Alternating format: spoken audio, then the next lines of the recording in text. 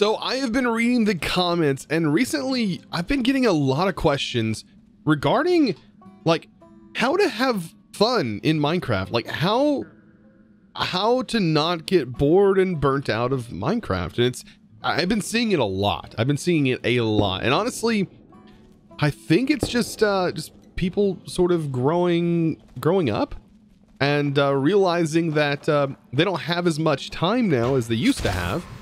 And so you start to sort of value your time differently. I don't know. It's it's been something that I've been thinking about recently, and I, I I've like I said, I've seen a lot of comments, and I've I've just been kind of wondering, maybe maybe that's that's sort of the reason. But um, I I do have some solutions.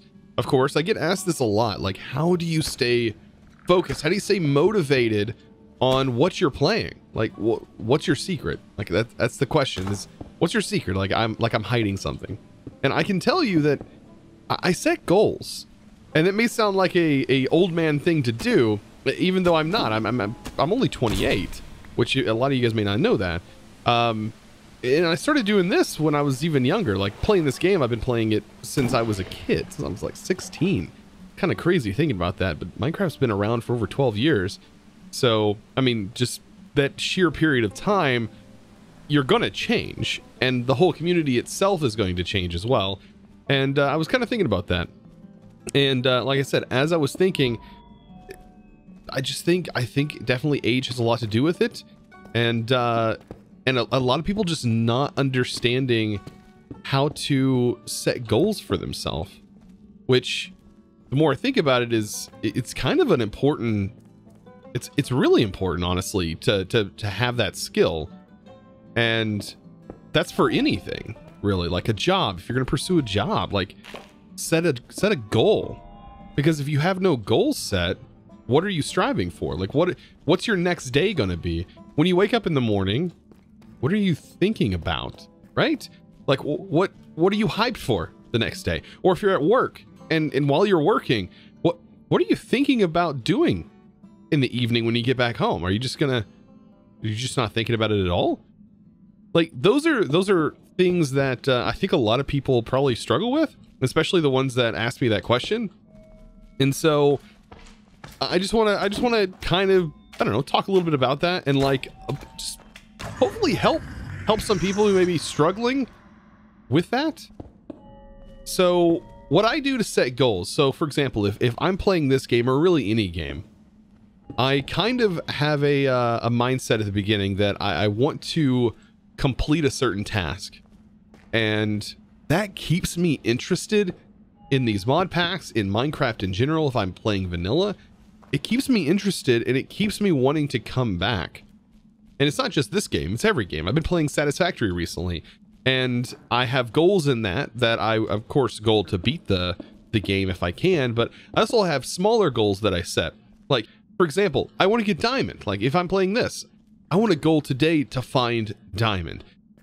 If I don't find that, that's okay. That gives me still more goals to, to that gives me another goal for the next day that I play this. I want to find Diamond. Until I find that, it's satisfied, right? It's not satisfied. So I'm always thinking about it. And I think those are those are things that a lot of people forget to do. And it's something that's been in video games forever. Setting goals. We just don't realize it anymore or maybe we're forgetting that goals are important because a lot of things are just sort of hand fed to us in video games now. Um so I don't know. I just wanted to talk about that at the beginning. I know it's probably a bit of a, a downer, but uh I don't know. That's just my my idea around it, and I hope that um, maybe moving forward, if uh, those of you who struggle staying playing in mod packs and stuff like that, just try try setting a goal. It, may sound crazy, and make make it a small goal so it's achievable. Otherwise, you can also get bored trying to complete the goal, right? Make it make it achievable. Like for example, I want to beat the Ender Dragon. That sounds crazy, and I know a lot of people who have never who have never beat the Ender Dragon. They've watched people do it and they've never done it themselves. Do it, right? It's so fun. Or they've never beat the Wither. I know a lot of people who have never even fought the Wither. They've played this game for years and have still never beat the Wither on their own. Like, set those goals. It sounds crazy, and it can also help you in your real life as well. Separate separated from video gaming, it it'll help you in your job. It'll help you in life. It'll help you with relationships. It'll help you everywhere. It's it's such an important such an important skill, I think, to learn is is how to set goals. And like I said, I just think a lot of people uh, have just sort of forgotten about that existing, which sounds crazy to me. But anyways, enough of that. I hope you guys, uh, I hope you guys learned a little bit of something there. I, I, I know I normally don't really dive into stuff like this, but like I said, I've been getting that question a lot in the comments, and I, I wanted, uh, I wanted to kind of speak on that. So speaking of goals, I do have one that I want to set today, and that is to create a melon farm, an automatic melon farm, somehow using the create mod, because melons are what we've been using, and I'm running out uh, for food. It's uh, it's not only our food source, it's our water source and our energy source. Basically, if we consume melons, we don't have to worry about drinking special kinds of water or anything to maintain that uh, that survival bar. So, before we do that, I do want to grab this from our quest line. We ended up killing that mutant shulker last episode, and we got ourselves a warden spawn egg, which means I can summon the warden and I'm thinking about doing it right here and seeing what this is all about. Okay. So he's a pet. Right? For some reason, like he's... This warden does not even care. Oh! Oh no, he cares. Oh, whoa. Bro, you do a lot of damage, actually. wow, out of all the bosses I fought, look at this. This guy actually penetrates the armor. What? And has 500 health? This guy is, you know what? I wanted to show this as well. Because some people were saying, Chosen, you're just, you're so OP. Notice I do about 8 damage every fist punch. I could punch this guy to death without a sword, without using Ars Nouveau. None of that. I'm gonna, I'm gonna punch him to death. And then we regain our saturation so quickly we regain our saturation fairly quickly. Oh boy. We're starting to take some actual damage now. Uh oh Boy, get out of the way. I don't want that Minotaur over here. 200 health left. Minotaur is about to get wrecked as well. Because I also have a uh, bonus just on my strength overall my strength bonus and uh, crit chance multiplier is is definitely pretty high. Hey, don't get me stuck. Oh, I wanted to test this out. So supposedly he can't hurt me in here. No, I take no damage inside this shulker box. How cool is that? That's pretty awesome. Quit with that. You're still gonna get punched you're almost down. Oh, that, that shulker box could be kind of, I mean, I guess that's a really cool AFK thing, right? Maybe you're setting in your world and you're waiting for something. I've died so many times in the past in like other worlds and stuff that I've played on other other Minecraft mod packs where I was just, I, I had to go do something. So I sat there AFK for a moment. I come back and I'm dead. Wait, no, no. Oh, we just lost our helmet. No, that was actually important. Okay. We just lost our helmet that had protection on it. That's not good. So this guy is actually wrecking wrecking our armor. No, no, no, no. That's expensive armor, bro. Hey, hey. We're about to lose our boots. No. Quit. I don't have to remake this armor. Because it actually, it should regenerate on its own. Oh boy. Should I? Can I, does protection help us, by the way? It sort of does. Oh, man, our armor is not liking that. My boots. My boots are about gone. I just want to defeat him. Come on. With my bare hands. I just want to do it with my bare hands. This is a goal, for example. 75. Yes! I defeated him with my bare hands, we may have only lost one thing, but you know, we we may have lost our helmet and almost lost our boots, but I, I think we're good. I, let's. I gotta go make another helmet now. You know what? I guess this is a good time to to use this helmet. I mean, I don't really need the full set on to have pretty decent like. Yeah, no, our regen is really quick, even with that one piece missing, and this helmet's pretty nice. I do like the fact that our armor regens itself over time.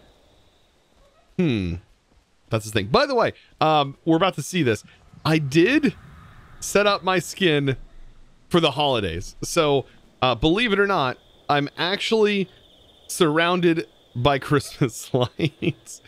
Prepping myself for the holidays, I went ahead and made this skin where I'm wrapped up in uh, I'm wrapped up in lights. And uh, this pack, by the way, has a special um, a special mod in here that actually makes the 3D layer or makes the uh, the extra layer look like it's 3D. So my my skin sort of has that extra 3D look to it, even though it, it normally wouldn't. But either way, and it even supports the uh, the extra layer, which uh, is kind of cool. So I just wanted to show that off because I spent I spent some time setting that up today, and I thought uh, I thought it would prep me for the holiday spirit, along with this over here. Of course, we did build our snowy home, so it of course helps with that as well.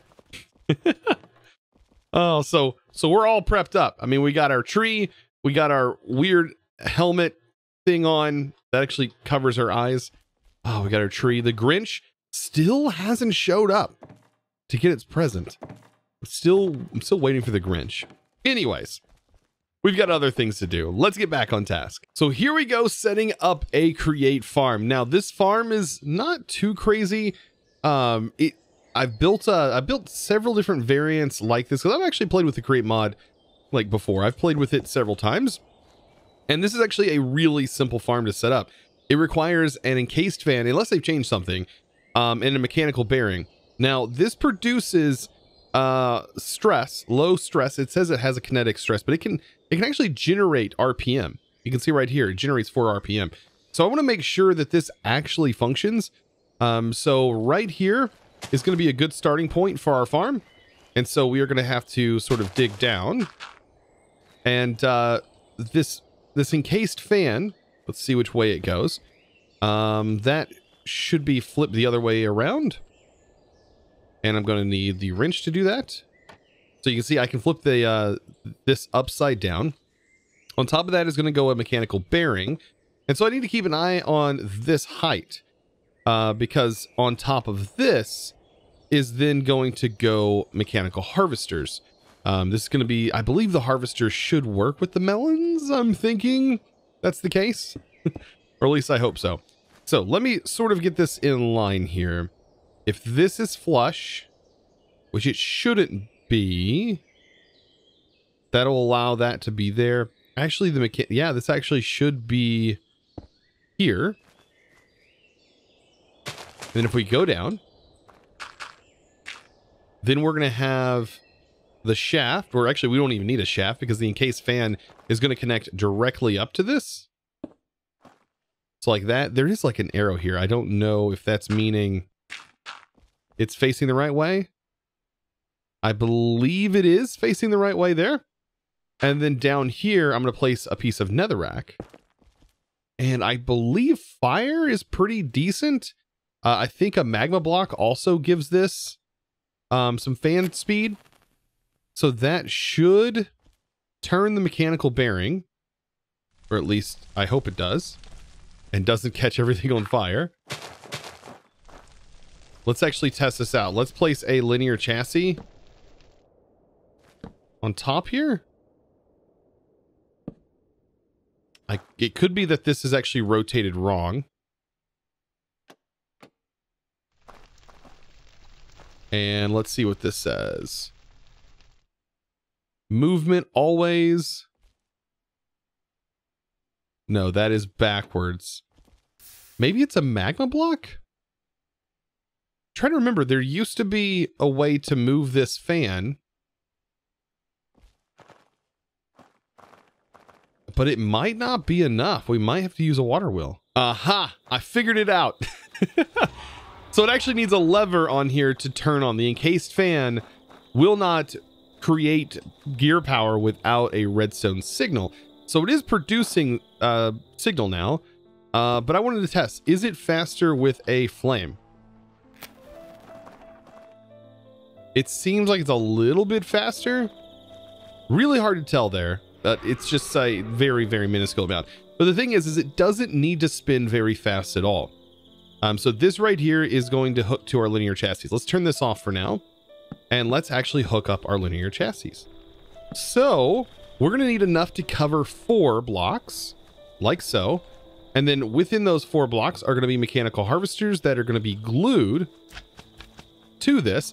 And it's going to spin in a circle. It's literally just going to spin in a circle. And it's going to harvest all the things that are in that circle. And then as it does that, it's going to put that into a chest that uh, I believe I can just put it on top here. And that should be a part of this whole contraption. We can test this by turning it on. No. So this actually is not a part of this contraption. I'll have to, I guess, glue it to the back. I'm sure there's many other ways of doing this. As you can see, my water bar is going down, so we need to get this done quickly. Okay, let's just glue it to the back for right now. And then there's going to be a chest here, because we'll be able to fix this once it's all running. Honestly, we could put it, I guess, right here?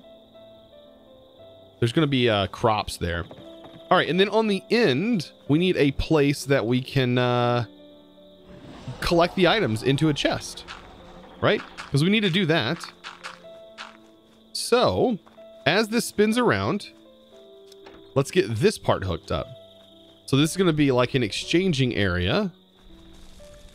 And off. So, right here, I need a way to access a hopper.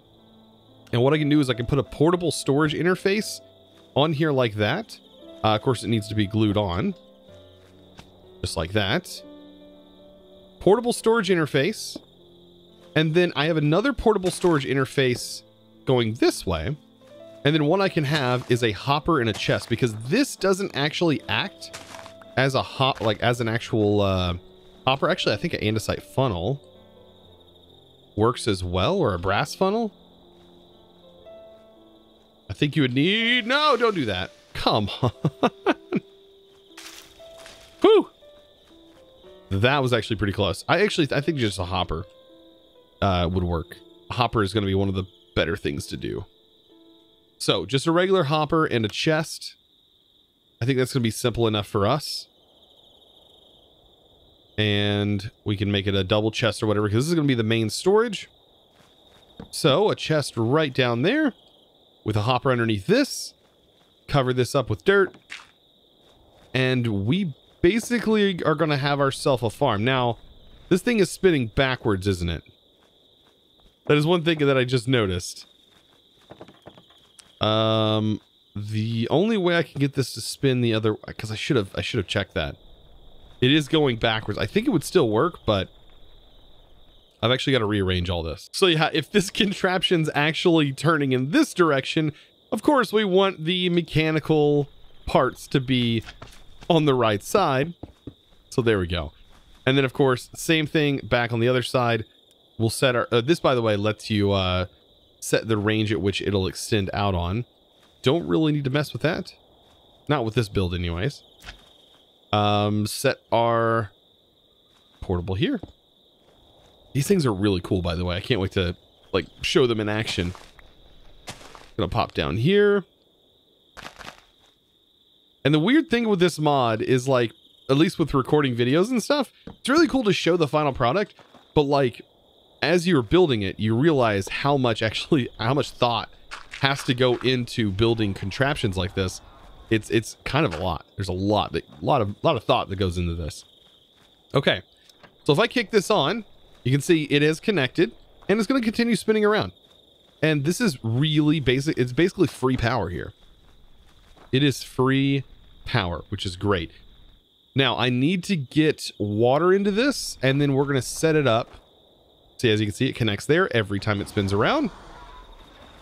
We basically need to get some uh, some water into this bad boy. And then we can start planting crops. Um, so I'm thinking water on this side and water on this side. And that should be plenty. Did I do that evenly?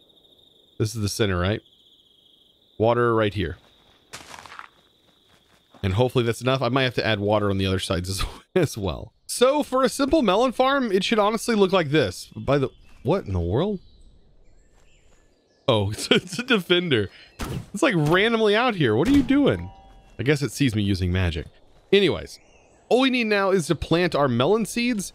And you're going to notice it's just going to walk right over the melon seeds. And these are going to be constantly generating. I don't want melons to form outside of this area right here because they won't be able to be harvested. So if I, if I set them out anywhere else, it's not going to work. But you notice the chest goes right over it because it actually isn't really there. However, it is going to do the farming. You can see it should be able to hit all of these blocks as a melon starts to form. So I just set up a simple grow spell. This is a very simple way of basically using bone meal. So as you can see, instead of using bone meal, we use mana, which is very, very helpful, by the way. And yeah, these guys are going to be maxed up here. And apparently was, was that is this considered a melon? Wait, it harvested...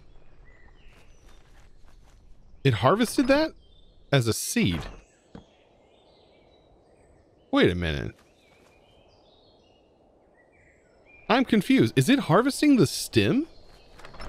Oh no, if it that's the case, this isn't going to work. I am so confused by that. So I am a complete dork. This, uh, so this right here would work with any other farm. So it would work with, uh, for example, well, it wouldn't work with sugarcane because it need to be one higher. But this right here would normally work with like wheat and other things like that. But no, not this. We actually need the mechanical drills to go here instead. So if I turn this back on, notice there's a melon here that I placed. It's not breaking the stems, and I hope it doesn't actually break the stems when they're grown either. Let's test. No, it doesn't break the uh, stem, but it will break the melons and actually place the melon slices in here, ah, which is what I want. Also, I think, yeah, these hurt you. so do the saw blades as well. So you don't want to, uh, you don't want to mess with those. And so, yeah, all I have to do now is fix the mess that I made, place down the stems, and then grow them all. what, what a dork. I'm, uh, I, you know what? I, I, I mess up from time to time. I'm not perfect. I'm not perfect in my understanding of everything. I still learn, just like everyone else. And there we go. It's already starting to actually work in a harvest the melons. I'm wondering, is this texture showing what direction the actual melon is going to grow? Because that's pretty cool, right? I know this can't grow here, but I guess it maybe just be randomized. But still, I like the fact that the texture pack shows the stems. Shows just hanging there. That's that's like literally how it would would look. Well, guys, I hope you learned something today, and I hope you enjoyed today's episode. I know it's a little bit different than my normal episodes, but of course, I, I like to talk from time to time. You know, I'm I'm only human. But anyways, of course, I do want to give a huge shout out to the sponsor of today's video, and that is going to go to my Discord partner, Alex of Volk. Thank you so much for your amazing support over on the Discord. And of course, if you guys are interested in becoming a Discord partner yourself, you can find that link down in the description below. Of course, if you don't want to become a Discord partner, is you, are free to join the Discord as well. We have an amazing community. I would love for you to join. Of course, it's discord.gg forward slash chosen architect. And the reason I'm pushing that so much is because I just want to hang out with you guys. Just like last night, I hung out in the voice channel. We played some music. We had a lot of fun. We talked about stuff, played some games. And of course, I was streaming some stuff on Discord as well. And I would love to hang out with you guys over there. So, of course, guys, be sure to join that. And I will see you guys in the next episode. And as always, thanks for watching.